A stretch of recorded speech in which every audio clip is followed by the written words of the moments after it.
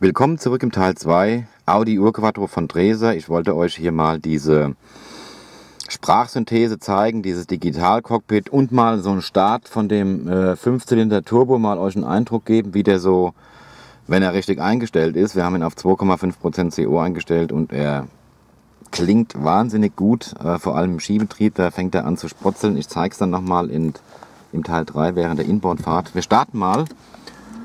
Hier haben wir also das Digifits. Ja. Er zeigt dann erstmal hier immer äh, an, wenn man nicht angeschnallt ist, wenn man jetzt losfährt oder anrollt, dann fängt die Dame an zu sprechen, bitte Sicherheitsgurt anschließen, aber ich werde euch nochmal gerade den Check durchspielen, dazu muss der Motor aus sein. Ja, hier, man hört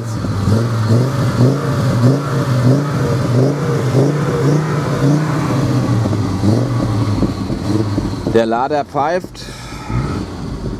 Nur der WM-Motor, ja, der klingt so halt, hat er diesen sonoren Sound, diesen typischen charakteristischen Fünfzylinder, dumpfen, sonoren Quattro-Sound.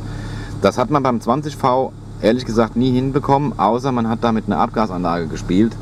Aber serienmäßig war der Sound ungleich besser als beim 20V. Man merkt es ja auch, wenn man so ein 200er Quattro äh, 20V bewegt hat. Die Autos waren ja schon sehr leise, auch so ein S4. Aber selbst der Urquattro war ein bisschen dumpfer, okay. So, jetzt äh, lassen wir mal die Sprachsynthese hier durchspielen. Das sollte natürlich auch funktionieren. Früher haben viele diese Sprachsynthese abgeklemmt. Ja? Warum? Ja, weil er halt viele Fehlermeldungen hatte. So, man macht es an und drückt dann hier quasi auf den Hebel Achtung, Bremssystem defekt. Jo. Bitte Sicherheitsgurt anlegen. Bitte Licht ausschalten. Achtung, Handbremse lösen. Bitte Batteriespannung prüfen. Bitte Bremsbeläge prüfen. Bitte Waschwasser nachfüllen. Bitte Bremslicht prüfen. Achtung, Kühlwasser zu heiß. Achtung, Bremsflüssigkeit prüfen. Bitte tanken. Bitte Fahrlicht prüfen. Bremslicht defekt.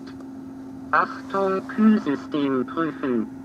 Achtung Ölstand prüfen. Ja, das war's. Das ist im Prinzip der damalige Fehlerspeicher beim Uhr, immerhin 1983, ja, das war ja absolut basic. Ähm, damals waren ja auch die Digitaluhren total in, also die Armbanduhren. Und ja, so war das halt. Ähm, wie gesagt, ab äh, 1900, Modelljahr 88 wurde das dann umgeswitcht auf dieses äh, rote oder orangene Cockpit ohne Sprachsynthese. Und ja, bis dahin, äh, bis demnächst zum Teil 3 im Urquattro. Ich sage Tschüss, bis zum nächsten Mal. Euer Ralf Skiba von Skibas Youngtimer Kaufberatung hier aus dem schönen Audi Urquattro von Drever. Und bis dahin. Ciao, ciao.